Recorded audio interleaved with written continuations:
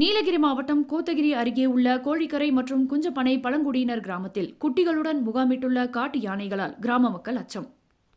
நீலகிரி மாவட்டத்தை பொறுத்தவரை யானைகளின் நடமாட்டம் அதிகமாக காணப்பட்டு வருகிறது.